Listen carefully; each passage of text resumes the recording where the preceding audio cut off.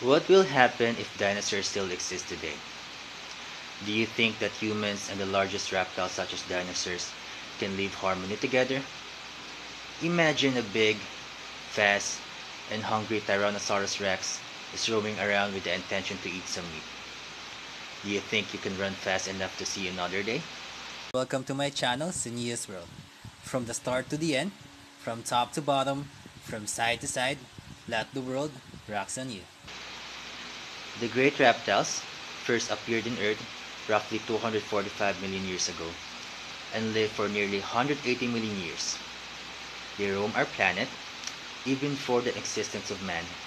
That's why they are quite famous for standing out from the blockbuster movies to written fictions and even cartoons as the curiosity of every one of us gets stuck on them. It is amazing that while humans have existed on the earth for a while, it is safe to assume that the human race did not cross paths with dinosaurs as they reigned the earth for around 180 million years.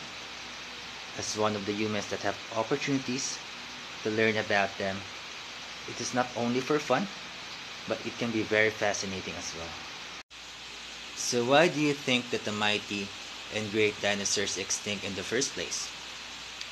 The causes of their mass extinction are highly debated as some scientists believe that the planet Earth was hit by a major asteroid. Some thinks it was a massive volcanic eruption and the worst is because of the severe climate change that ended them in hunger that causes them to wipe right off in the face of the earth.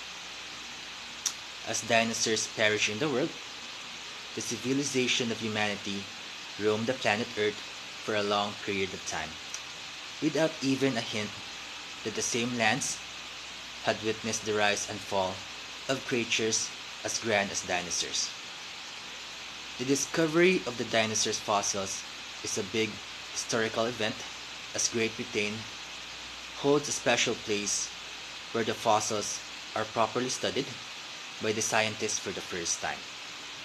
Around some 170 years back, the term dinosaur was coined by Richard Owen, who was an expert animal anatomist of his time. However, it is believed that some geologists were already familiar with the animal that Owen described as dinosaurs.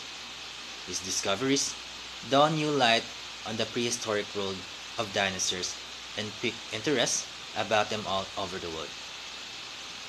There are many types of dinosaurs like pterodactyl, Tyrannosaurus, Iguanodon, Allosaurus, Brontosaurus, Gallimimus, Isanosaurus, Mosasaurus, Diplodocus, Tyrannosaurus rex, Styracosaurus, Baryonyx, Raptorex, Stegosaurus, Carnotaurus, Syntausaurus, Coelophysis, Triceratops, Ankylosaurus, Parasaurolophus, Viropasaurus, Andysaurus, Spinosaurus, Sylvosaurus, Brachiosaurus.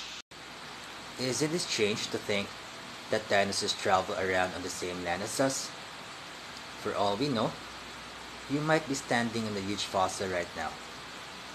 In order to understand more about Mother Earth, it is important we learn about all the creatures that roam around on it. What's more fascinating than dinosaurs? Thank you for watching.